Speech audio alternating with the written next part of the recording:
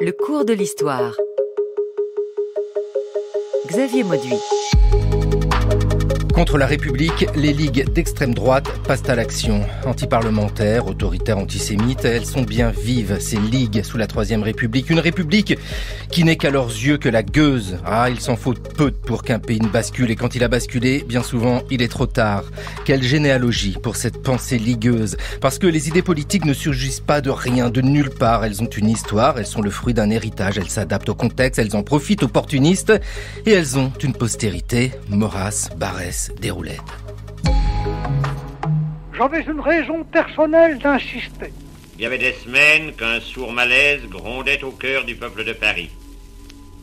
La province, qui aurait eu les mêmes réactions que la capitale, mais qui ne répercutait ses émotions qu'avec un peu de retard, ne comprit pas tout de suite de quoi il s'agissait. Étrange fin de siècle du début de ma vie, dont les grands témoignages littéraires restent les scènes et doctrines du nationalisme de Barès et les souvenirs de Léon Daudet.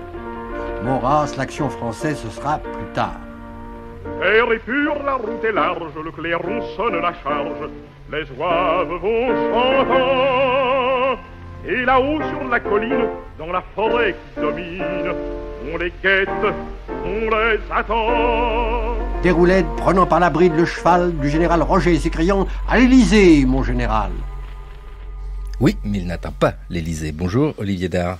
Bonjour. Vous êtes professeur d'histoire contemporaine à Sorbonne Université, spécialiste de cette histoire politique des années 1930 euh, et cette réflexion que nous allons avoir avec vous sur ces ligues nationalistes et vous êtes co-auteur avec Jean Philippet de février 34, l'affrontement. Bonjour. Anne-Catherine Schmitt-Trimborn. Bonjour. Vous êtes docteur en histoire contemporaine et autrice de la Ligue d'action française 1905-1936, organisation, lieu et pratique militante avec euh, la réflexion aujourd'hui que nous allons avoir sur cette généalogie. Une idée politique, ça n'apparaît pas de nulle part. D'ailleurs, quand on parle de ligue, de quoi s'agit-il, Olivier Dard? C'est quoi une ligue?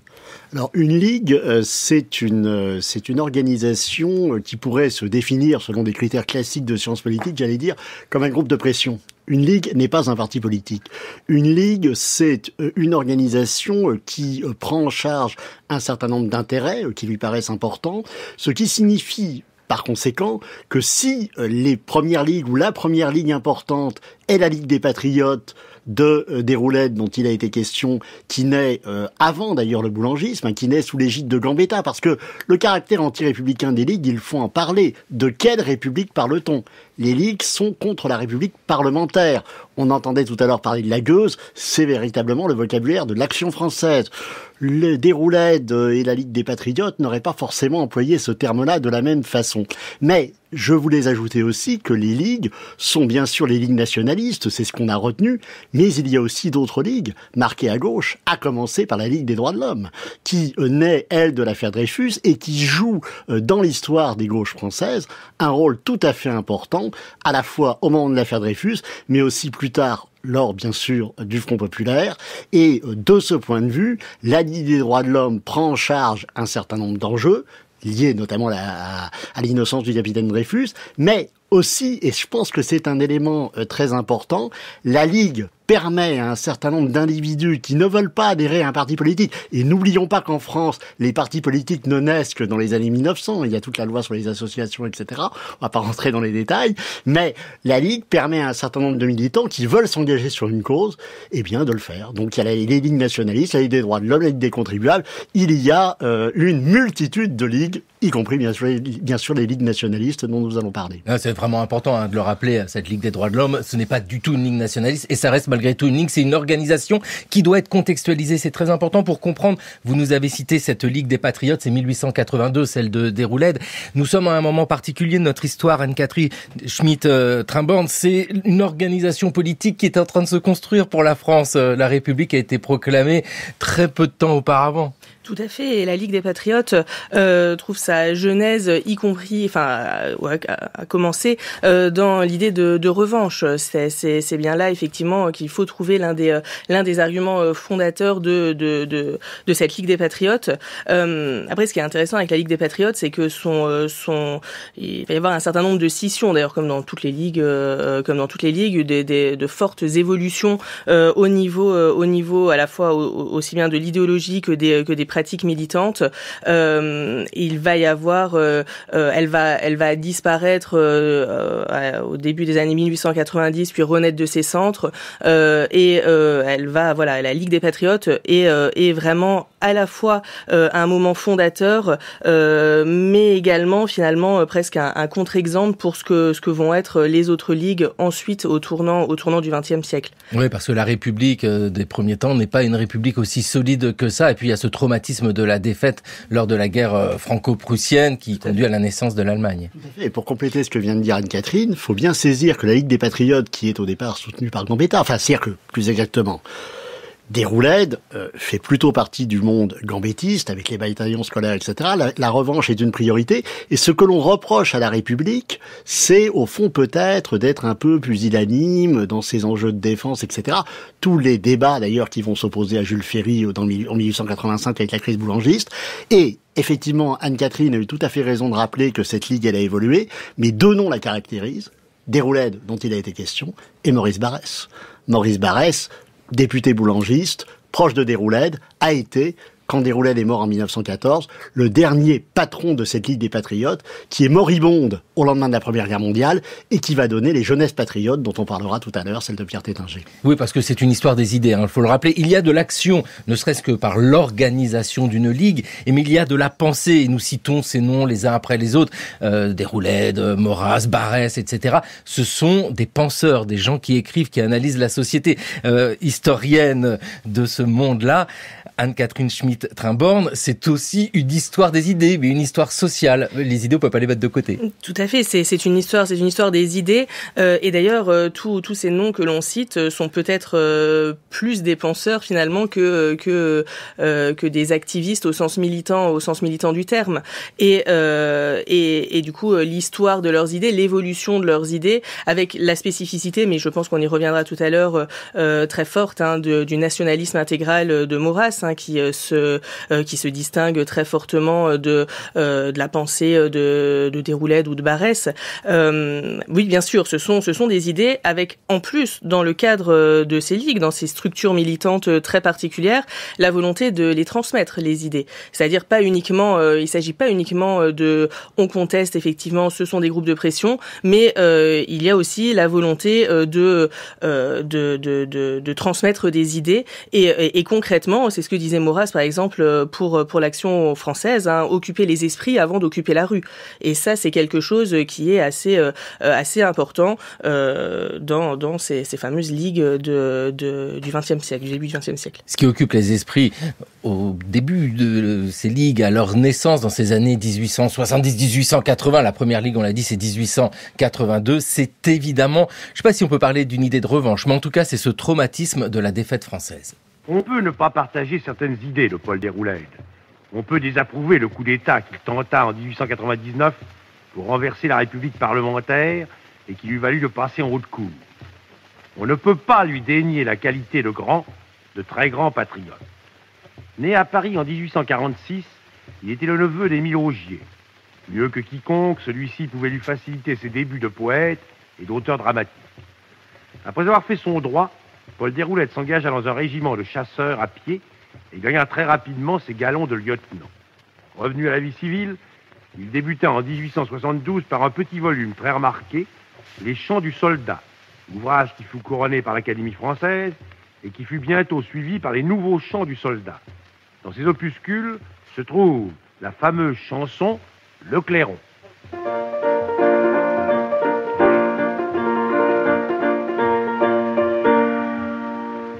Est pur, la route est large, le clairon sonne la charge, les oives vont chantant.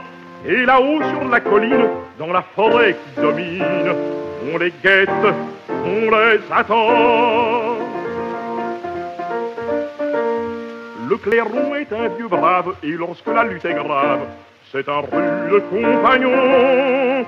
Il a vu de bataille et porte plus d'une entaille depuis les pieds jusqu'au front. On grimpe, on court, on arrive, et la fusillade est vive, et les autres sont à droite. Quand enfin le cri se jette, en marche, à la baïonnette Et l'on entre sous le bois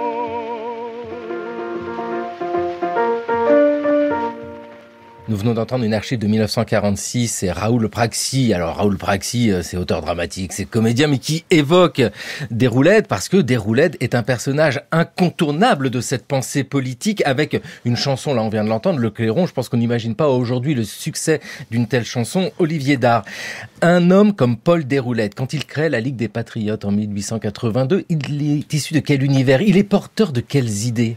Il est, euh, pour le coup, un républicain. Je crois qu'il faut, il faut le dire, mais un républicain, euh, donc il n'est pas monarchiste. C'est un élément très important. C'est ce qui va le différencier évidemment euh, plus tard de l'action française, mais euh, qui va à l'heure, à l'heure où effectivement la République se cherche. Hein. Bon, il y a quand même eu la crise du 16 mai 77, mais la République se cherche. Déroulède au fond est à la fois un héritier de l'empire, c'est un plébiscitaire d'où le terme d'ailleurs césariste, hein, qui lui a été euh, parfois accolé, c'est un plébiscitaire, c'est un homme qui euh, considère que la République parlementaire n'est pas efficace. Et donc, en particulier pour la question de la revanche, la politique extérieure, etc. Ça, c'est le deuxième point. Et euh, c'est en même temps quelqu'un qui est une forme, dans une forme un peu d'entre-deux. C'est-à-dire qu'il pourrait, à la tête de sa ligue, être finalement, sans doute, un dirigeant politique à part entière, ce qu'il est pour une part, mais c'est quand même autour de lui et à travers lui que le boulangisme va se doter d'une des rares structures politiques qui va le soutenir, parce qu'il faut bien le voir que dans l'histoire du boulangisme, qu'a très très bien étudié euh, notre collègue Bertrand Joly, ce boulangisme, lorsqu'il est implanté, il n'est pas d'ailleurs si implanté que ça, mais lorsqu'il est implanté notamment à Paris, tient à travers une implantation militante par les réseaux de cette Ligue des Patriotes, qui est effectivement quelque chose de, de très important. Et effectivement, comme l'a très bien dit tout à l'heure Anne-Catherine, cette Ligue des Patriotes va avoir du mal hein, à se sortir de cet héritage boulangiste, et on va la voir revenir, on va la voir revenir euh, au moment de l'affaire Dreyfus, sauf que là, évidemment, il y a beaucoup de concurrence. On va pas citer toutes les lignes, hein, mais il y a la ligne antisémitique de Guérin, il y en a beaucoup d'autres. Et on parlait tout à l'heure des intellectuels, on y reviendra peut-être, il y a une ligue qui est très importante, qui est la Ligue de la patrie française de Jules Lemaître et des autres pour bien montrer qu'on est en présence de courants où effectivement un certain nombre de ce qu'on appelle ou de ce qu'on va appeler les intellectuels joue un rôle important. Tous les intellectuels n'ont pas été anti, euh, n'ont pas été Dreyfusards, pardon. Oui, c'est important de le dire. Hein. Anti-Dreyfusards. Et le mot intellectuel euh, lui-même était euh, plutôt une insulte. C'était Barès et le terme est retourné, effectivement. Avec des intellectuels, soit, et des militants. C'est important de rappeler cette organisation qui permet de comprendre le succès de ces ligues. Oui, tout à fait. Et pour, pour revenir à, à la Ligue de la patrie française, ou pour, pour enchaîner, effectivement, cette Ligue de la patrie française est, est très importante, même si finalement elle a une, une durée de vie relativement euh, courte. Euh, il n'empêche qu'elle est fondée euh, dans la tourmente de l'affaire Dreyfus en 1898 et dans, dans, une, dans un objectif très clairement anti-Dreyfusard, en, pour, pour s'opposer à la Ligue des droits de l'homme. voilà, et on va y retrouver un certain nombre de, de républicains, parce que cette ligue, encore une fois, est républicaine, de républicains nationalistes et anti-Dreyfusard. Et on va d'ailleurs y retrouver euh, les deux euh, futurs fondateurs euh, de l'Action française, à savoir Henri Vaugeois et, Maurice Pugeot, qui, qui au départ euh, s'engagent, s'engagent dans cette Ligue de la patrie française, euh, mais ne vont pas voilà euh, y retrouver le militantisme qu'ils espéraient, ne vont pas y retrouver suffisamment, enfin l'action qu'ils qu'ils auraient voulu développer, et vont finalement voilà, ils ne vont pas non plus d'ailleurs réussir à faire à faire intégrer Maurras dans le comité directeur et vont finalement s'engager pleinement dans dans l'action française qui n'est pas encore une ligue à ce moment-là parce que l'action française fondée elle aussi en 1898, est, à la, est au départ un comité, un comité euh, euh, de réflexion justement intellectuelle, hein, pour, pour reprendre ce terme un petit peu anachronique, mais, euh, mais en tout cas un, un, comité qui et ne deviendra une ligue qu'en 1905, après d'ailleurs la dissolution de la Ligue de la patrie française, même si voilà il y a pas forcément de lien. Donc oui, le, militantisme, le fait qu'il qui, qui, qui la, la volonté d'agir, de réfléchir certes, mais d'agir aussi Donc, Petite parenthèse d'ailleurs pour la Ligue de la patrie française 1898. Parmi les noms associés à cette ligue, on va trouver Jules Lemaître, François Copé, qui sont des auteurs dramatiques. François Copé, c'est la poésie. Eh ben non, on les retrouve engagés. Donc Olivier Dard, c'est ce que vous disiez. Bien sûr, on les trouve engagés. C'est pas que Zola. Et ce sont, bien sûr. Et François Copé et Jules Lemaître, en plus à l'époque, sont des auteurs extrêmement connus aujourd'hui mmh. oublié, mais euh, extrêmement connu. Et ce qui caractérise aussi cette Ligue de la patrie française, euh, c'est aussi euh, son souci, et c'est ce qui va gêner d'ailleurs Maurras, hein, qui va construire ensuite l'action française en, en, réaction contre ça, c'est le souci de la respectabilité.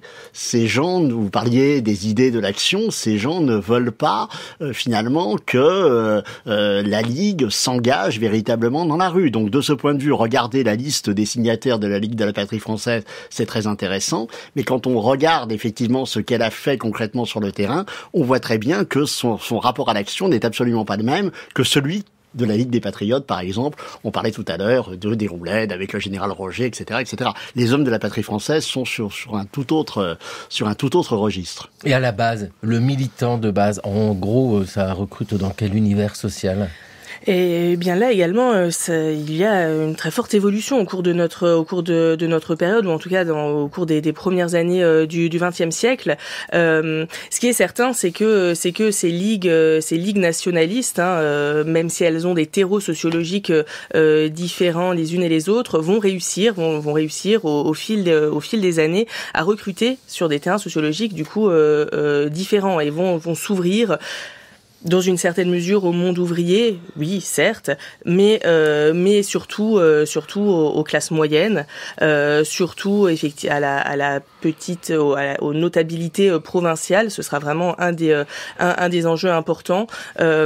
donc donc une ouverture sociologique bon qu'il faut qu'il faut malgré tout nuancer et avec une spécificité quand même assez importante pour l'action française, hein, euh, qui, reste, même si elle, est au cœur de cette histoire des ligues, elle est elle aussi euh, euh, vraiment à part dans, cette histoire des ligues. La question évidemment de, la noblesse, ou en tout cas de, de des descendants de la noblesse, des, des propriétaires fonciers, etc. Oui, parce que l'action française, royaliste, elle prône la monarchie, alors que les autres ligues, non. C'est en cela, Olivier Dard, que ce panorama des ligues est complexe, parce que j'ai envie de dire, on va trouver un peu de tout. On peut aller où on veut. Il y a plein de ligues. Alors, vous l'avez dit, de gauche, mais même dans les ligues nationalistes, ben, on va avoir des orientations plus ou moins différentes. Oui, il y a des orientations différentes. Et c'est ce qui va être, d'ailleurs, c'est ce qui va faire la singularité de l'action française. C'est-à-dire, ce qu'il faut bien comprendre pour l'action française, c'est deux choses. Un, que c'est une ligue qui vient après et qui va se construire contre les échecs précédents. Maurras va être, va avoir des mots très durs contre Déroulède contre les gens de la patrie française, comme l'a rappelé Anne-Catherine, qui n'ont pas voulu le faire rentrer dans le comité directeur. S'il était rentré dans le comité directeur, ah, on ne sait pas ce qui serait advenu, mais il a des mots très durs contre les uns et les autres, soit contre l'activisme de Déroulède sans suffisamment d'idées, soit contre des gens de la patrie française qui n'ont finalement pas voulu agir. Donc il va effectivement impulser la création de la Ligue de la de l'Action française, mais cette Ligue de l'Action française ne doit se comprendre que comme un élément d'un ensemble. L'Action française, c'est un dispositif. Au cœur de l'Action française, l'écrit. Anne-Catherine, je pense, va y revenir. La petite revue grise et ensuite le quotidien. La Ligue, les camelots du roi activistes, avec le rôle des étudiants. Et puis, euh, plus généralement, en termes de militants, comme Anne-Catherine le disait, euh, cette sociologie euh, assez particulière, parisienne, mais aussi provinciale, avec également la question des dames d'Action française et des jeunes filles d'Action française qu'on a parfois tendance à oublier, mais qui ont joué un rôle important. Il y a des femmes nationalistes, et je dis pas ça pour... voilà, c'est une réalité hein, qu'on a parfois euh, tendance à oublier, mais sur laquelle les, les historiennes et les historiens aujourd'hui euh, reviennent euh, et avec raison. Diffuser les idées, bien sûr, c'est très important. Diffuser les idées, trouver de l'argent, avoir le moyen de d'occuper l'espace. Aujourd'hui, on dirait médiatique. Il n'y a pas la télévision, il n'y a pas la radio à ce moment-là, mais il y a de nombreux écrits et on lit beaucoup en cette fin du 19e siècle, début du 20e siècle. Exactement. Et ce qui ce qui fait ce qui a fait la force de l'action française, c'est très clairement son le quotidien Le quotidien, l'action française, fondée en, en 1908, euh, qui, qui, va devenir, hein, qui, qui, va devenir une, un, succès. C'est un succès d'édition. On, le lit beaucoup, y compris évidemment parmi les opposants à l'action française. donc ce journal quotidien, il est vraiment fondamental et, et, et structurant dans l'histoire de la Ligue parce que, bah, eh bien, les Camelots sont fondés pour le distribuer à la base ce, ce journal quotidien, même si ils vont euh, euh, mener tout un tas d'autres d'autres actions militantes. Euh, mais ce journal, c'est celui qui permet de diffuser les idées. Je, voilà, je, je, me répète, mais Maurras a, beaucoup insisté sur le fait qu'il fallait occuper les esprits, occuper les esprits encore une fois, même avant d'occuper la rue. Donc, il faut convaincre, il faut, il faut que les militants soient convaincu de, euh, de du bien fondé du nationalisme intégral.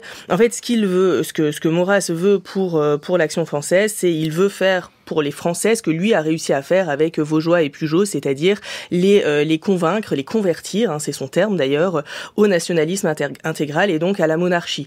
Euh, le, le, sa, sa, conviction euh, que le retour de la monarchie est euh, le, la, la, meilleure solution pour la France est fondée sur euh, une histoire un petit peu décliniste effectivement, hein, contre-révolutionnaire au moins de, de la France depuis, depuis la Révolution française. Et il veut le prouver et donc pour cela, il va multiplier les textes, euh, les textes euh, théoriques tout au long, euh, tout au long des, euh, du, du, de, des premières années du siècle. Et avec un écho plus tardif, écoutez bien et tendez l'oreille, nous allons entendre Charles Maurras qui s'exprime en 1938 lors de son élection à l'Académie française. J'avais une raison personnelle d'insister, car d'un côté, ma vie s'est dépensée tout entière à essayer de constituer ou de reconstituer une sorte d'esprit public commun à la France, un État stable, durable, cohérent et autant que possible embranché et se rapportant à toutes les grandes forces du passé. En même temps, je ne pouvais compter à cet égard que sur des adhésions personnelles. J'ai eu des collaborateurs effectifs et des collaborateurs moraux qui sacrifiaient tout avec une amitié d'esprit incomparable à la cause que je leur avais proposée. Oui, c'est une cause, une vraie cause, il le dit euh, Charles Maurras, Olivier Dard. Y a-t-il un programme politique dans le cas de l'action française avec Charles Maurras? C'est quelque chose de particulier, on l'entend, hein, l'État stable, durable, cohérent, en écho passé, c'est la monarchie. Euh, est-ce qu'il y a un programme politique en général dans ces ligues? Oui, alors je vais y venir dans un instant. Je, réagis juste et je rebondis sur l'extrait qu'on vient d'entendre pour rappeler une chose essentielle, la surdité de Charles Maurras. On, mesure très bien qu'à l'entendre, il n'est pas un orateur. Et euh, si euh, il l'a d'ailleurs beaucoup regretté, car il aurait aimé pratiquer le magistère de la parole. Et si Maurras est aussi obsédé littéralement par l'écrit, c'est bien parce qu'il est incapable de parler, ou plus exactement d'être, d'écouter, et donc de participer euh, à une conversation. Donc c'est un élément euh, absolument essentiel. Alors par rapport à ce programme effectivement des ligues, oui, il existe, mais je dirais dans ces grandes lignes. Il faut bien comprendre que l'action française, justement avec Maurras, que ce soit Maurras, Daudet, Bainville, hein, tout, tout et Valois d'ailleurs aussi, euh, reproche aux autres ligues de ne pas justement avoir un programme. Et c'est ce que disait Anne-Catherine, elle, notre force c'est d'avoir raison, disait Maurras. Ils ont un programme. Les autres en ont quand même un. Mais c'est un programme, je dirais, assez largement négatif. C'est-à-dire que ce qu'ils constatent, c'est d'abord la faiblesse du régime, et donc s'associe euh, à euh, cette question ligueuse l'antiparlementarisme, qui est absolument structurant structurant. La figure du député, du parlementaire, des parlementaires d'ailleurs, comme disait euh, Léon Daudet, est absolument essentielle, ce qui ne va pas empêcher un certain nombre d'entre eux d'être élus à la Chambre. Premier élément. Deuxième élément, élément important, on parlait de la revanche, et plus largement d'ailleurs par rapport à la revanche, la question du rapport à l'Allemagne, la nécessité de recouvrer les provinces perdues qui se retrouvent en 1913-1914, mais avec un nationalisme qui n'est pas en France un nationalisme expansif, beaucoup plus défensif expansif, ce qui explique qu'avant 1914, les lignes nationalistes euh, sont plutôt réservées quand ce n'est hostile, faut voir la, la périodisation par rapport à l'empire colonial qui avait été souhaité par Jules Ferry. Troisième élément, c'est un discours sur la concorde. Avec euh, la concorde sociale, nationale, avec effectivement un certain nombre d'éléments qui ont pu emprunter un nationalisme d'avant l'affaire Dreyfus, c'est toute l'expérience de la cocarde avec Barès, où un certain nombre de futurs socialistes ont participé à ce journal, car n'oublions pas évidemment l'importance hein, euh, de cette montée du socialisme avant 1914, et puis euh, également un rapport effectivement à l'étranger, des éléments de xénophobie bien sûr, d'antisémitisme également, et là aussi il y a dans euh, l'affaire Dreyfus, bien sûr, la dimension antisémite fondamentale, mais également l'idée, on l'oublie parfois, enfin les spécialistes le savent parfaitement, que l'affaire Dreyfus est une affaire d'espionnage. Et la question de l'espionnage hein, est au cœur euh, de euh, des obsessions de ces milieux, qui ont le sentiment que la France est en train de se défaire c'est la chanson de l'action française, la France qui se défait, contre la France qui se défait, euh, eh bien, il lui faut, pour la refaire, il lui faut un roi, etc. etc. Anne-Catherine Schmitt-Trimborn, c'est vraiment cela qui euh, nous intéresse aussi, c'est de comprendre un peu comment ces idées, et nous avons évoqué tous ces penseurs, se concrétisent en action. Est-ce que l'on peut dire qu'en partie, il y a dans ces ligues, pour les mécontents de tout type, un espoir de casser les choses, de faire évoluer les choses, sans qu'il y ait effectivement, systématiquement, un programme politique, si c'était peut-être pour l'action française avec son programme royaliste. Est-ce que les mécontents se retrouvent facilement dans ces ligues? Alors, il est certain qu'il y a qu'il y a une cette, cette tendance euh, est, euh, est, est, est, importante dans, dans l'histoire des ligues.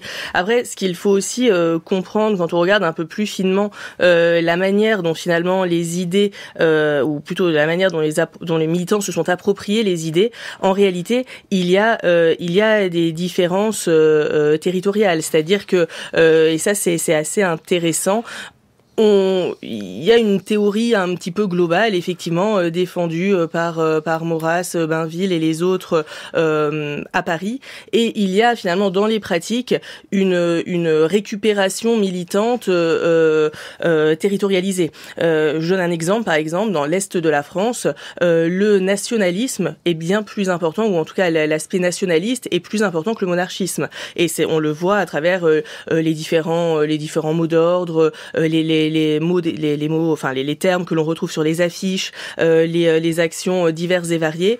Et quand on regarde un peu finement, qu'on regarde un petit peu les, les, statistiques, on a réellement une, une récupération de, de, de, des mots d'ordre un petit peu au cas par cas. Et ça, c'est assez intéressant parce que on se dit finalement qu'il y a une théorie globale et qu'il y a finalement des militants qui finalement récupèrent un petit peu ce qui, ce qui les arrange le moment venu ou, ou en fonction des circonstances. Olivier Dard. Ce que dit Anne-Catherine est très juste.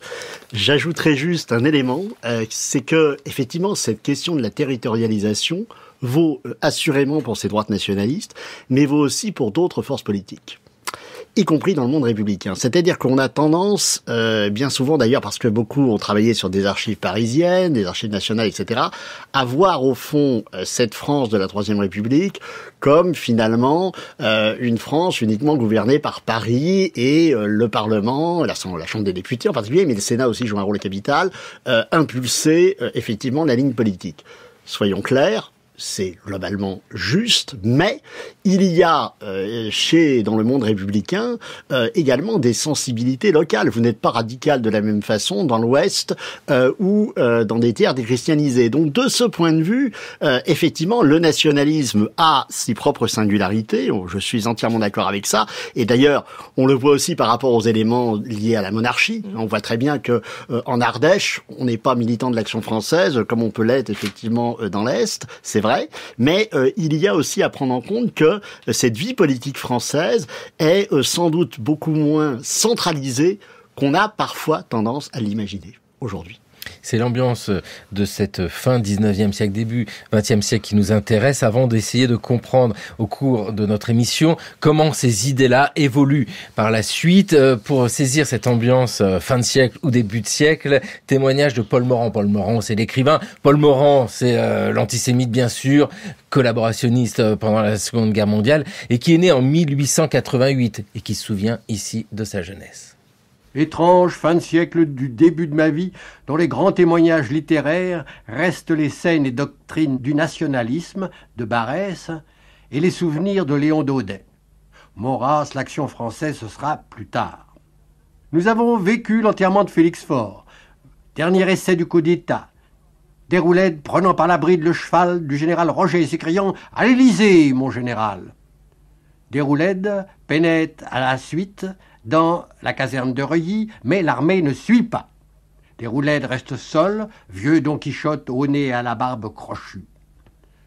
Le nationalisme ne s'en relèvera jamais, malgré Jules Lemaître, malgré la Ligue des Patriotes, malgré les dîners de Madame de Loane, où au foie gras les convives se demandaient si cette nuit-là le duc d'Orléans passera la frontière. La mort de Félix Faure, le président de la République, c'est en 1899, tout comme le coup d'État de Déroulède euh, évoqué ici par Paul Morand. C'est dans l'émission Analyse spectrale de l'Occident en 1967 que s'exprimait Paul Morand. Euh, Olivier Dard, dans ce monde que nous évoquons depuis euh, tout à l'heure, on voit que ce tournant du siècle est important avec la création des partis politiques. Parce que ces ligues-là, vous nous l'avez dit, c'est pour pallier à, ce qui n'existe pas. C'est pour pallier, pas uniquement, mais parce que les partis partis politiques, si vous voulez, euh, existent sans exister. Euh, il va, les, grands partis politiques vont naître effectivement après la loi sur les associations, parce que si on fait l'histoire du socialisme, on va vous dire qu'il y a eu tel parti, etc.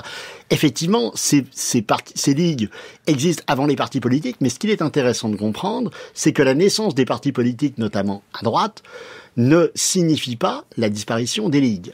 Et de ce point de vue, il y a dans la relation entre les ligues et les partis euh, une relation assez particulière, en ce sens que vous avez euh, au début du XXe siècle la naissance d'un certain nombre de partis politiques importants à droite, l'alliance de, de, Jacques Piou avec Albert Demain, donc on a les catholiques ralliés, la Fédération républicaine, etc. On va pas tous les énumérer, mais ce qu'il est important de comprendre, c'est que ces partis euh, politiques vont être principalement ce qu'on appellerait dans le, jargon un peu ancien d'ailleurs sur ce plan-là de la science politique, des partis de cadres, des partis d'élus. N'oublions pas que la Troisième République, et ça a été très critiqué, mais c'est pas si faux, c'est la République des comités. Euh, et euh, de ce point de vue, vous avez des partis d'élus qui n'ont pas forcément de militants. Et la Ligue va être le moyen pour les partis d'avoir, à l'occasion des campagnes électorales, alors l'action française n'est pas concernée, mais euh, d'autres vont l'être, avoir à l'occasion des campagnes électorales des militants qui peuvent s'occuper des distributions de tracts, des services d'ordre, etc., etc. La Ligue va être aussi un moment d'apprentissage pour un certain nombre de futurs dirigeants politiques qui passeront de la Ligue au parti parmi les personnes, j'allais dire, célèbres, je pas sûr que nos auditeurs les connaissent, mais enfin, euh, il y a eu Louis Jacquinot, il y a eu Édouard Frédéric Dupont, l'inénarrable et l'inamovible député du 7e arrondissement, venu effectivement des ligues vers les partis, et effectivement, toute l'histoire des ligues, mais ça on va en reparler pour l'entre-deux-guerres, va être une histoire au fond conditionnée par cette dualité, des gouvernements de droite pouvant soutenir les ligues, plus ou moins, y compris avec un certain nombre d'éléments financiers, parce que ces ligues, elles en ont besoin, ces forces politiques, au moment des campagnes électorales. Et on verra que progressivement, les ligues vont vouloir s'émanciper des partis, mais c'est la fin de cette histoire. Avec, euh, dans le cas de l'action française, une trajectoire particulière? Alors oui, oui, l'action française, euh, donc, euh, donc à la base mouvement intellectuel, puis une ligue fondée en 1905 une nébuleuse d'organisation. Olivier Dard l'a bien expliqué euh, tout à l'heure, les camelots, euh, euh, les, les dames d'action française, les étudiants d'AF, etc., etc. Bon, on va pas revenir sur sur l'organisation globale. Une trajectoire particulière après la Première Guerre mondiale. Une trajectoire particulière parce que en 1919, l'action française choisit décide de présenter des, des candidats aux élections aux élections législatives. Alors comment se sortir de cette de cette impasse quand même petit peu théorique, hein, on veut renverser la République, eh bien Maurras dit euh, par tous les moyens, même légaux. On veut renverser la République par tous les moyens, même légaux. Euh, donc 1919, donc euh, cette euh, cette euh, chambre bleu horizon, une, une législature pour Léon Daudet notamment, qui est élu à Paris député, qui va être un personnage un petit peu tonitruant de de, de, de cette de cette période. Euh, un certain nombre de, de voilà de sympathisants d'Action française euh, élus un petit peu partout en province. Hein, bon, enfin, un succès quand même en demi-teinte. Hein, il faudrait pas voir ou il faudrait pas se laisser trop trop influencer par par cette cette, présence tonitruante de, de Léon Daudet à l'Assemblée. Euh, mais Qu'importe, il n'empêche que l'action française, à ce moment-là, la Ligue d'action française va se tourner vers les élections et en 1924, ils vont chercher à, euh, ils vont, ils ont réorganisé en fait leur structure militante pour participer aux élections législatives, euh, ce qui, ce qui a quand même un petit peu déstabilisé un certain nombre euh, de militants parce que parce que vous, vous on vous dit on veut renverser la République mais bon finalement allez voter. Enfin bon c'est c'est c'est malgré tout un petit peu un petit peu compliqué. En 1924 euh, c'est un échec hein, euh, euh, élection du cartel des gauches. Léon Daudet n'est pas réélu. Il tentera de se faire réélire euh, l'année d'après, en, en 1925, mais encore une fois échec, et ce sera cette fois la fin de ce qu'on a pu appeler l'aventure électorale de l'action française. Euh, aventure électorale euh, que, que euh, un petit peu qu'il est compliqué euh, qu'il est compliqué d'appréhender parce que parce qu'elle a permis une forme de respectabilisation si on peut utiliser ce terme de l'action française euh, mais malgré tout elle a aussi perdu un certain nombre de militants et, et donc effectivement trajectoire très particulière pour pour l'action française. Oui parce que il est question de trajectoire ici. On pourrait même parler de génération. On l'a dit, en hein, 1882, la création de cette première ligue, la Ligue des Patriotes de Déroulède. Là, si nous réfléchissons à l'entre-deux-guerres, nous sommes dans les années 1920. Olivier Dard, le contexte est tellement différent. L'Alsace-Lorraine, par exemple, a été récupérée. Ça change beaucoup de choses. Oui, mais par rapport à ce que vient de dire Anne-Catherine, ce qui est très intéressant, c'est que la Ligue des Patriotes, ou plutôt ce qu'il en reste, et ce que vont devenir les jeunesses patriotes, elle participe au bloc national. Si l'Action française en 1919 aussi choisit de présenter des candidats, c'est parce que à Paris, Paris qui est une ville nationaliste à l'époque, les euh, Parisiens, enfin les dirigeants politiques parisiens de la droite parisienne ne veulent pas que l'Action française soit avec eux. Barès a essayé de faire ce qu'il a pu, et même Barès, ils avaient voulu retirer le mot nationaliste de son, de son affiche électorale. Il avait dit non, non, non, je, je suis un nationaliste. Mais c'est un élément fondamental. Et effectivement, bon, Anne-Catherine a, a, résumé très bien les choses. J'ajouterai juste en plus, pour l'action française, c'est terrible, l'échec de 1924. Parce que ça a obligé finalement l'action française à se compter électoralement et on connaît la fameuse formule de Thibaudet, euh, bah, finalement elle n'est pas capable d'élire un conseil général alors que c'est un journal euh, très important. Et puis par ailleurs, ça va être à l'origine de dissidences très importantes, notamment celle du faisceau de Georges Valois, à un moment où les jeunesses patriotes, elles, sont en train euh, de se développer. Car si l'action française a été très marquée par la condamnation du Vatican en 1926, 1924, hein, Anne-Catherine le disait, c'est un moment très important de la crise de la Ligue. Oui, parce que je voulais vous poser la question d'ailleurs par rapport à la religion, au catholicisme. Euh, ces ligues-là, mais même celles de la fin du 19e siècle, ne sont pas foncièrement rattachées à la religion. Alors, c'est peut-être mis en avant, mais depuis le début de l'émission, c'est vrai qu'on n'en a pas parlé plus que ça, donc c'est pas fondamental. Non, c'est pas c'est pas forcément un argument fondamental. Bon, si ce n'est peut-être quand même à l'action française. À l'action française, euh, là, on, on, a quand même un lien très fort euh, entre, euh, d'ailleurs un lien fort et complexe entre euh, la religion, euh, la Maison de France, euh, l'action française. il y a là un, un monde quand même un petit peu particulier et le, les, les, militants se, se, sont facilement retrouvés dans cette possibilité de vivre à, leur, à la fois leur foi religieuse religieuse et politique euh, euh, et c'est justement tout c'est ce qui va c'est tout le problème de 1926 c'est qu'il va falloir pour certains d'entre eux choisir choisir entre euh, entre eh bien l'église et et leur journal parce que c'est bien ça qui, qui se jouait vu que le journal avait été condamné. Et et c'est effectivement compliqué. Pour les autres ligues c'est plus c'est vraiment moins mis en avant. C'est le caractère monarchiste de l'action française qui fait forcément qui qui qui a généré ce lien très fort avec euh, avec l'Église. N'est un lien qui, qui dès le départ est quand même assez euh, assez ambigu parce que Maurras lui-même euh, n'est pas croyant. Il a il se revendique athée et donc tout tout cela évidemment euh, agnostique athée oui pardon. euh, et euh, donc donc voilà. Pourquoi on, le pape d'ailleurs condamne l'action française? Pourquoi il y a cette excommunication? Qu'est-ce qui se passe? Eh bien, c'est, c'est, euh, ce n'est pas toute l'action française qui est condamné. Hein, c'est un certain nombre d'écrits euh, de Maurras, euh, justement du fait qu'effectivement Maurras est agnostique et c'est ce qui ce qui ne passe pas forcément. Plus un certain nombre de, de, de textes euh, jugés euh, jugés inacceptables et donc excommuniés par euh, par le pape. Et en 1924, face à tous ces mouvements divers, face à ces ligues, la gauche, elle, s'unit. C'est le cartel des gauches. Elle remporte les élections. Les socialistes, avec Vincent Auriol, prônent une politique cohérente mais incompatible avec une économie libérale. Les milieux d'affaires orchestrent la campagne contre le cartel accusé de ruiner la France. La reconnaissance par la France de l'Union soviétique, les progrès du Parti communiste inquiètent la bourgeoisie. L'expérience italienne fascine certains éléments de la droite. Georges Valois crée le faisceau des combattants et des producteurs. Des ligues naissent. Un climat de violence s'instaure. L'Action française et la Ligue des Camelots du Roi font des progrès sensibles. Ce regain d'influence doit beaucoup aux articles de Charles Maurras et au talent d'orateur de Léon Daudet. Un député de Paris, Pierre Tétinger, fonde les Jeunesses Patriotes.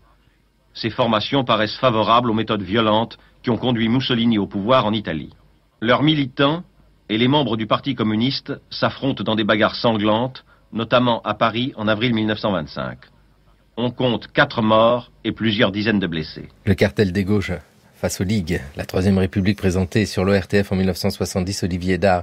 Nous avons, euh, c'est vrai, ici une histoire internationale. Parler de ces ligues françaises n'a aucun sens et encore plus dans les années 1920 si on ne regarde pas ce qui se passe ailleurs en Europe. Je suis d'accord avec vous. Mais euh, justement, il faut regarder ça de près euh, et voir que l'action française, avant 14, a beaucoup influencé le nationalisme italien. C'est un premier élément très important. Et que ces nationalistes italiens, euh, avant 14 déjà un peu, et ceux qui vont se rallier au fascisme, sont, plus les années passent, de plus en plus réservés vis-à-vis de l'action française, qui leur paraît un mouvement finalement euh, hors, hors du jeu, hors du peuple, hors des masses. Et de ce point de vue, quand l'action française salue la marche sur Rome, qu'est-ce qu'elle salue? Elle salue l'image qu'elle a d'un Mussolini euh, qui consolide la monarchie avec un lien entre celui qui va être le futur Duce et la monarchie. Il n'y a pas d'admiration, si vous voulez, pour ce que va être le PNF, le futur modèle fasciste, etc. En revanche, on apprécie le retour à l'ordre en Italie. Georges Valois, c'est différent. Georges Valois, lui, a fait le voyage, a rencontré Duce, et Georges Valois va essayer de mettre sur pied, à partir de 25-26, un premier mouvement, le faisceau, fascisme français.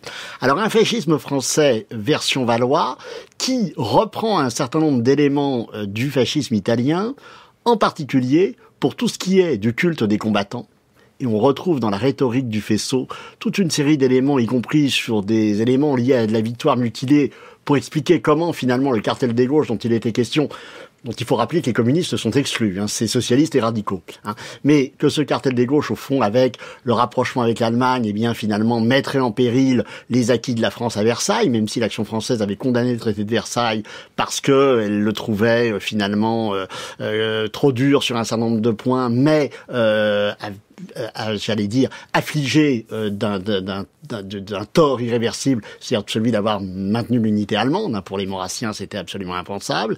Et autre élément important chez Valois, c'est euh, l'idée que on peut, avec le fascisme, construire un régime économique et social différent Valois revisite la question du corporatisme à travers l'expérience italienne. Il va d'ailleurs l'abandonner parce qu'il va trouver que l'Italie est beaucoup trop étatiste. Mais Valois, effectivement, après 20 ans d'action française, quitte l'action française. Il n'est plus monarchiste.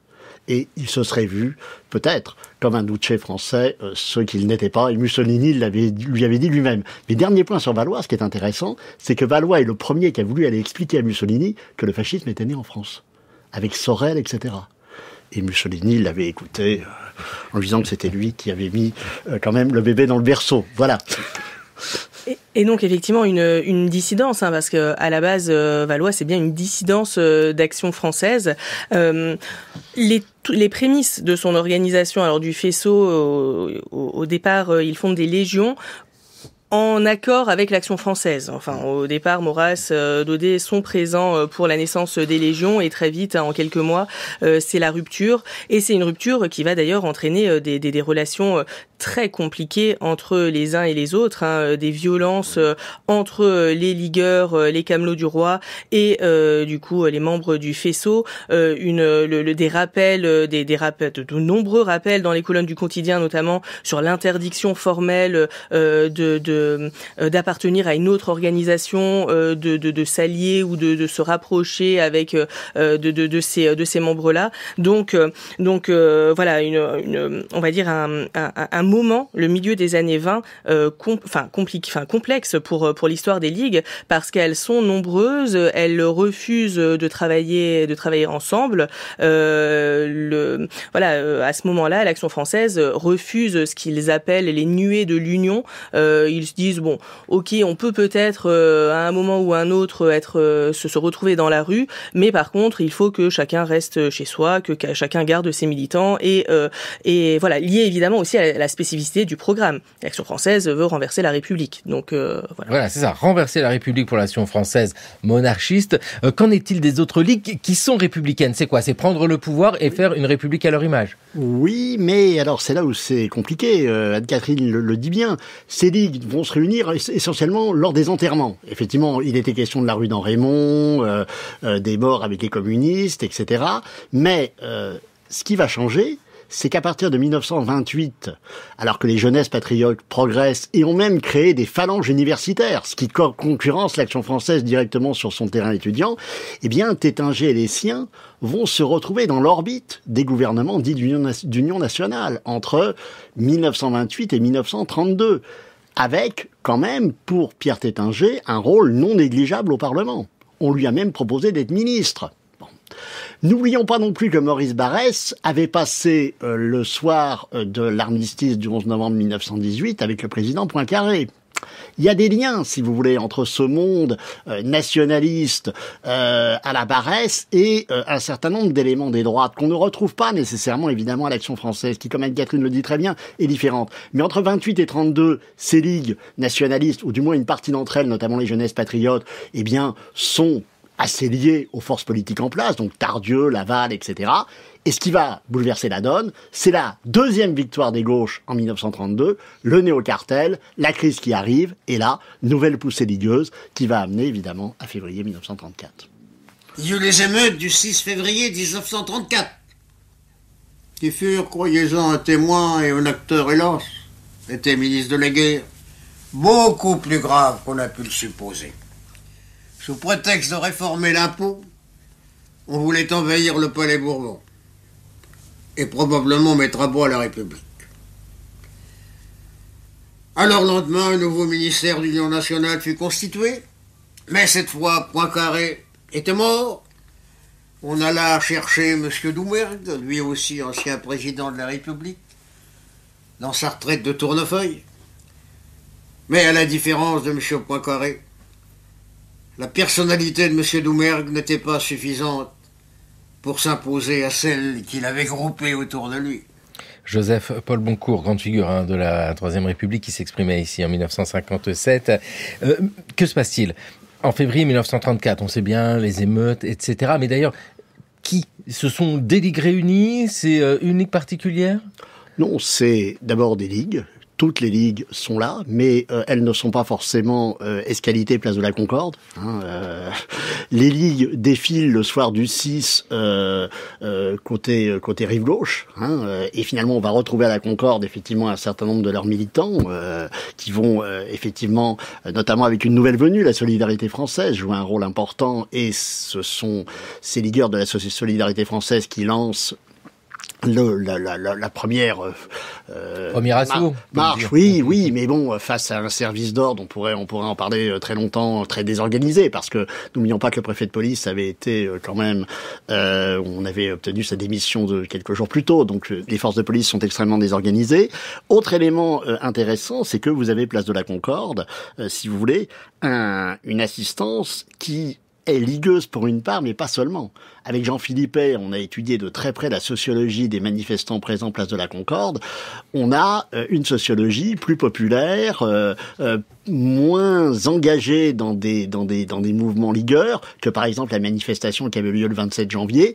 Et j'ajouterais que même les morts des ligues, hein, dont on a beaucoup parlé, il y a 19 morts quand même, un, un, du côté des forces de l'ordre, 18 de l'autre côté, et les morts de l'Action française, etc., des jeunesses patriotes, ne sont pas des ligueurs de premier plan. Ils ont été mis en avant évidemment par leurs organisations, mais ils ne sont pas des ligueurs de premier plan.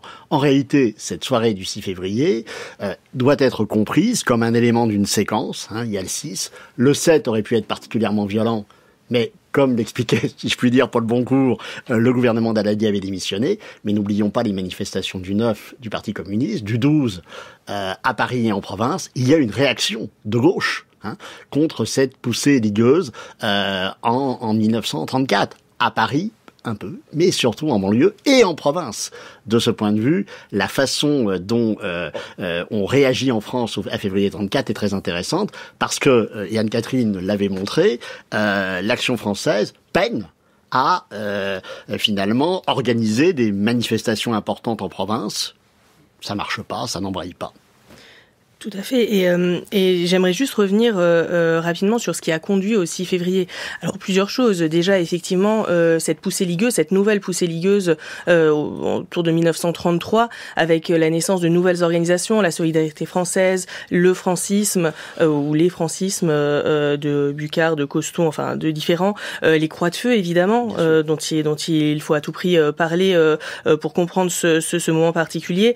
Ensuite, bien sûr, bah, l'affaire Stavisky décembre euh, décembre 33 puis euh, effectivement l'action française qui est clairement chef de file des euh, des manifestations de janvier de janvier 34 le 6 février, par contre, il n'y a pas d'entente globale entre entre les ligues dans, dans l'espoir de, de renverser la République ou euh, ça ça pour le coup c'est assez on, on, a assez euh, voilà dépouillé les archives pour pour pouvoir pour pouvoir le dire.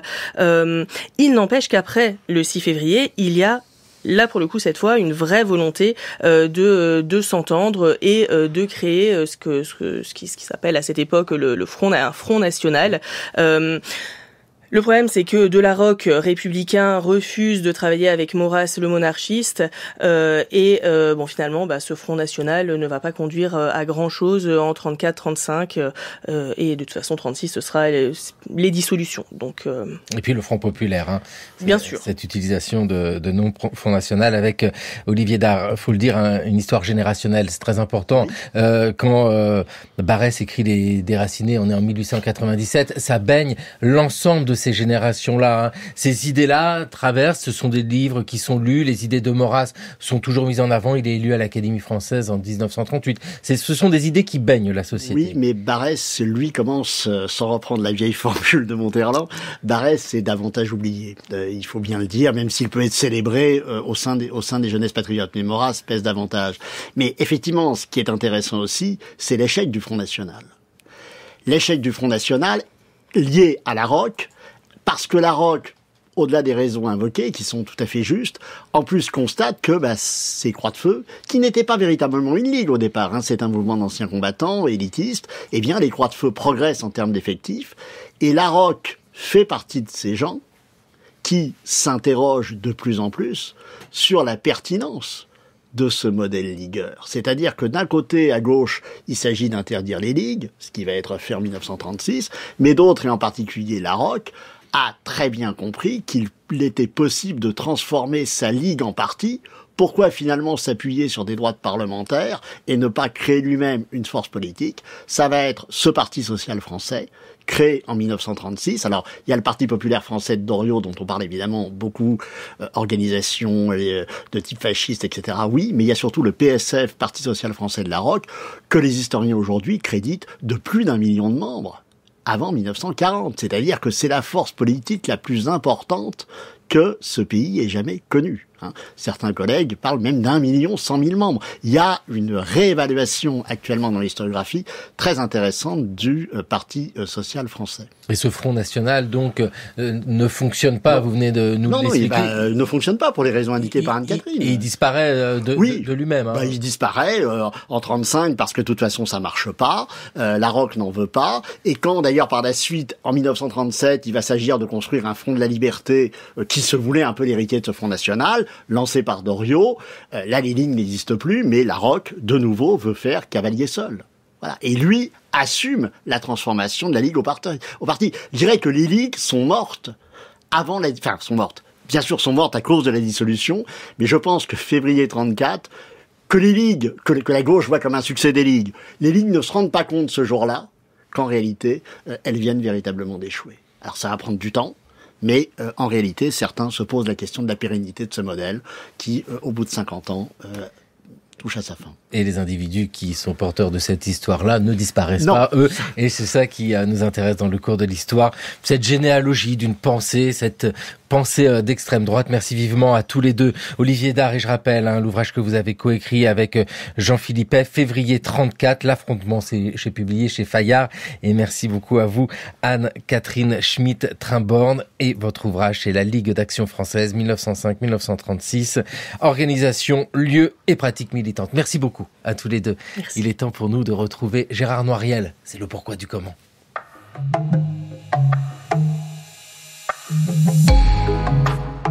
Comment les études postcoloniales sont-elles devenues décoloniales?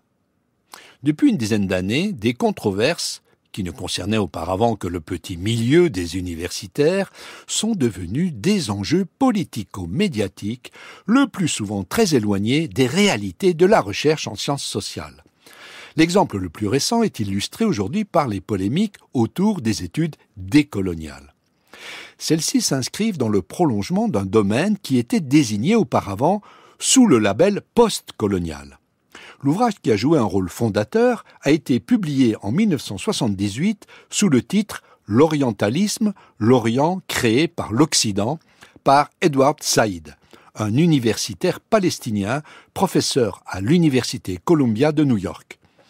Après avoir analysé l'évolution de la production savante occidentale sur l'Orient, principalement en France et en Grande-Bretagne, à partir de la fin du XVIIe siècle, il réhabilite les cultures des colonisés pour souligner que ce ne sont pas seulement les héritages de la domination coloniale. Inversement, il montre que les cultures des colonisateurs ont elles aussi été profondément travaillées par l'exercice de cette domination. Enfin, Saïd met en évidence les dispositifs idéologiques que la décolonisation aurait laissés pratiquement intacts, ouvrant ainsi la perspective d'une critique du passé colonial dans le présent de nos sociétés. C'est en référence à ce livre que le terme postcolonial a été proposé à la fin des années 1980 pour décrire cette hybridité culturelle et les formes de domination qu'elle implique.